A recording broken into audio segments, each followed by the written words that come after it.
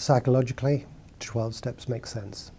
They are a cognitive therapeutic intervention um, which are beautifully stepped so that each step flows from one into another.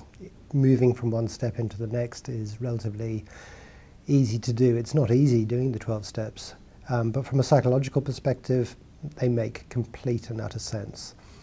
And from a behavioral perspective, complete and utter sense. From a psychotherapeutic perspective, complete sense the beautiful thing about the 12 steps and the whole AA structure is that there's a spiritual component to it as well. If you go to the first step, I'm not in control of my drinking. So if I'm not in control, something else is.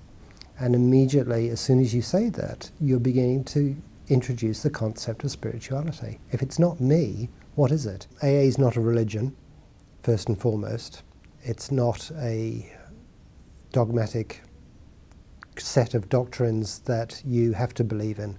So it's not a religion, it's not a cult, it doesn't, it doesn't um, link itself to any particular form of religion, any denomination, and as a result, you can't make it a cult. It's often one or two or three sessions um, later when you've explored all of those concepts and explored the concept of spirituality and the idea that perhaps God, as we understand Him, might be something within.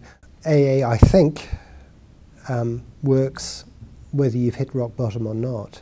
It's just that for a lot of people, the idea of starting with AA before you've hit rock bottom is a difficult step to take because you have to acknowledge that life is not as good as it could be. And most people, I think, join AA once life has become pretty rotten.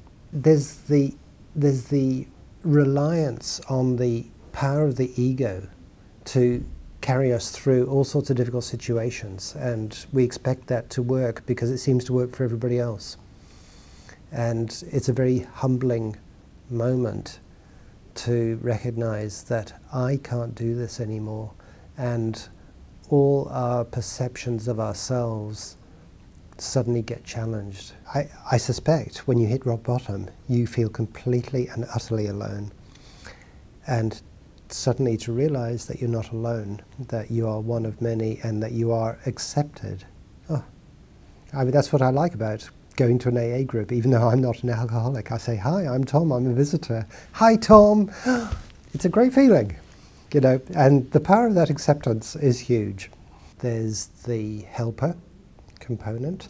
Um, one alcoholic talking to another alcoholic and being listened to. And um, that's something which, for me as a health professional, I can't listen in the same way, having not been an alcoholic or a substance dependent person. Um, and I think the experience of being listened to by someone who knows is marvelously therapeutic. There is no payment involved, you know, and you can do it within all sorts of settings. I think that aspect of AA is marvelously important.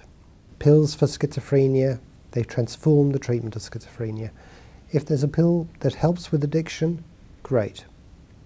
But don't forget to do the psychological work. The warmth and the acceptance, I think, will override some of the fears that you have. And having the courage to pursue some of the AA structures, well, we know it works.